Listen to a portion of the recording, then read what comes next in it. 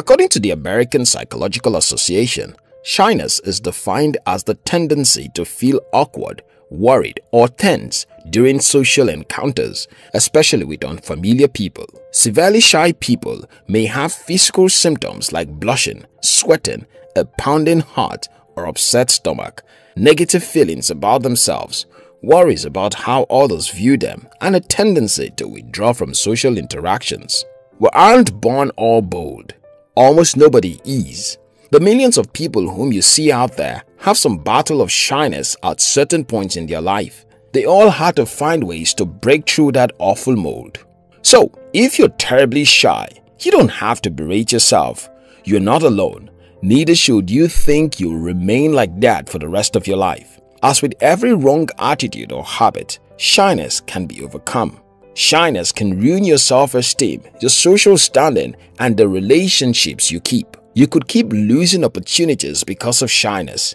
And if you are anything like me, so many times you have lost opportunities and even hurt your most important relationships because you are shy. Since shyness often involves you being unable to be free around people or being able to start and continue a conversation or feeling off when you are around people. It is a thing of your mind. If you can fix the thought process that encourages shyness, you can overcome shyness.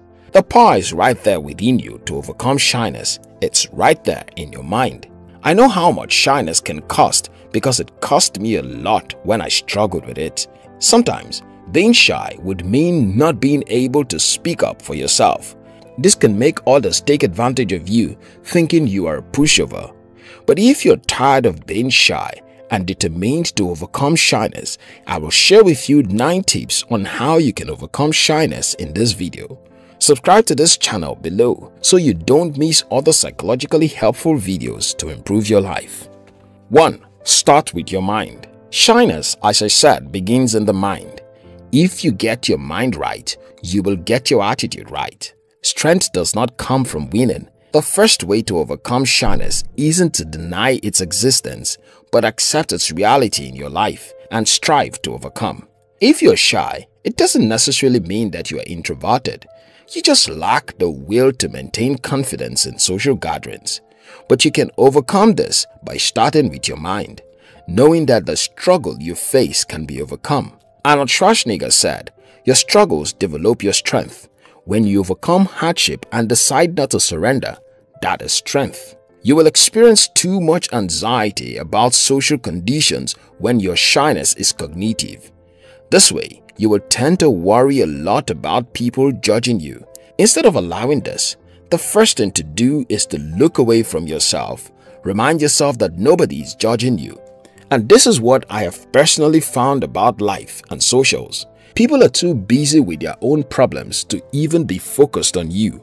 They start to pay attention to you only when they observe you're too self-conscious. Get your mind off the idea that people are judging you. You are not in their minds. And if they are, it's just people being people. Also, people are obligated to think what they want about you. You only have to make sure you stay true to being who you are supposed to be. If you focus your mind so much on people judging you, you miss a lot of things. Too many times, you'll be surprised they aren't even thinking about you when you get close to them. Get your eyes off yourself. 2. Focus on your successes. One of the ways I overcame and still overcoming shyness is by choosing to focus on my success rather than my failure. Shy people tend to beat themselves up too much for their failures while overlooking their successes. Make it a personal habit of thinking more about your successes instead of berating yourself for each failure. Celebrate your wins and learn from your failures. You may appear to be the most awkward person in the room, but it is often not true. When you step into a garden or meet someone new, remember some things you have been able to overcome which were once difficult for you. This should show you that you are strong, you are not weak. Mark your success and celebrate it. You'll find it much easier to keep going. 3. Stop imagining the worst. If you're shy, one of the traits you exhibit is that you dwell so much on your mistakes. By doing this often, you project them into the future too. If you allow this to become a trend for you, your mistakes make you expect the worst. You will keep making more mistakes because your expectations will keep creating problems. Negative expectations could always produce negative results. Break the circle and stop imagining the worst. Too often, nothing worse can happen if you just believe differently. Work on positive images of social interactions by using visualization. When I want to start a new project, I visualize myself having finished the project before getting down to execute the project. This way, I am emboldened to face the project. Imagine your plan will succeed when you attend your next social event. Think through the specific steps you plan to take. It will ease your tension and focus your mind on the positive. 4. Use positive self-talk. When I was terribly shy, I always sold myself short I remember I was always too shy to confront people. I would charge 20% for a job I was supposed to charge 100% for. The bulk of the crush I experienced in my attitude came from speaking negatively to myself. It's an age-long principle, but it is so true. You attract to yourself what you constantly say about yourself. You always have what you say about yourself. So if you're in the vein of overcoming shyness, choose to speak positively about yourself. Positive self-talk may seem like some hula-baloo you don't want to get into, but successful people agree that how you speak about yourself determines what you attract to yourself because your subconscious absorbs the words you say about yourself as true, whether you are serious or just joking about them. And soon, as your subconscious processes that information and ingrains it, it becomes a part of your life. So your life goes in the direction of the things you say. Say positive things to yourself. Talk yourself up when you need encouragement. Sometimes we just need a little more time to get through a situation. By using positive self-talk, you can push your limits and perform better. When leveraging positive self-talks to boost your confidence and overcome shyness, use you instead of I. Some studies show that saying you can do it is more effective than saying I can do it. 5. Practice exposure therapy. It is said that courage is not the absence of fear, but choosing to do what you must do despite fear.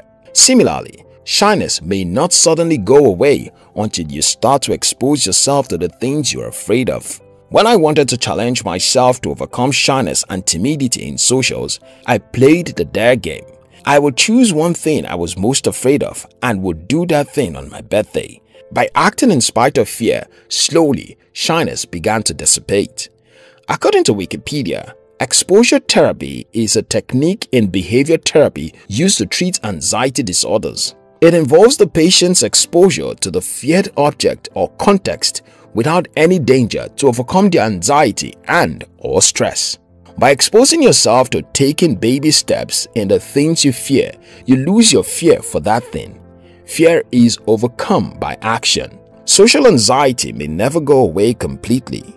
However, if you get it to manageable levels, it can change your life. You don't have to see a therapist to practice exposure therapy.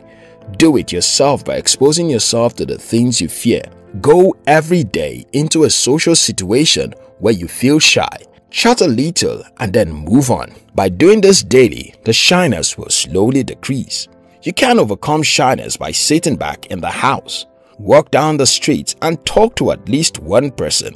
When you do it daily, you'll get used to it. If you are extremely shy, you may want to see a therapist. That could expedite your healing process. 6. Don't hang out with shy people. Since you become like the people you hang out with, don't hang out with shy people. In fact, one of the ways you can practice exposure therapy effectively is to go out with a bold person all the time when you want to meet people. Since certain attitudes are contagious, it is easy to quickly pick up boldness when you hang around bold people. I know it can feel comfortable to hang around people who are shy like yourself, but the bad side is that such a group won't give you the boost you need to overcome shyness.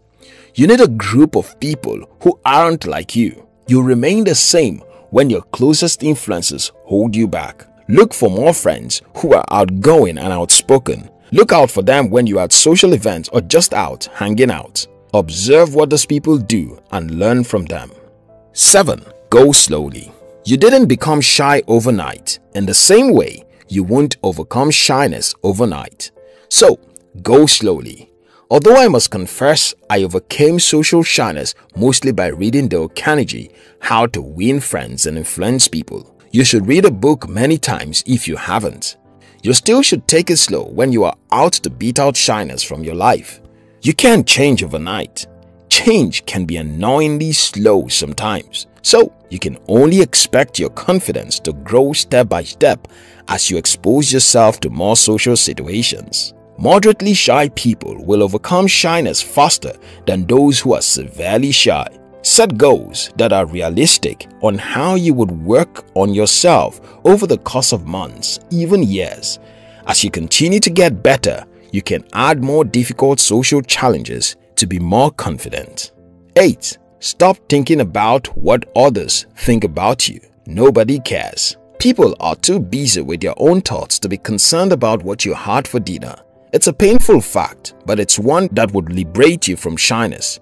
People are hardly thinking about you because everyone cares about their own problems, not yours. Katie Eubank said, For me, that is the crux of no longer being shy, taking the focus off what others think of me and placing it on being myself and placing it on being my best self and surrounding myself with others who make me want to be a better person. You may think everyone in the room is watching you and judging you. Here's the truth. No one is watching or judging you. They're just as nervous, insecure, shy, and worried as you are. Instead, focus on what you think of them. Someone wrote, when we put our attention on other people and decide what we think of them, we can take the pressure off ourselves. 9. Learn to love yourself. Succeeding at anything requires that you love yourself. Love yourself enough because if you don't love yourself, you will not believe that anyone else will. Being shy can make you put yourself down. Whatever you think wrongly about yourself may not be true. Love yourself just as you. Think about your successes. Consider and focus on attributes that are good about you. Take care of your health by eating well and sleeping well. These little things indicate that you care for yourself and you appreciate yourself. If this video has helped you make better decisions about overcoming your shyness, share it with your friends. We love you.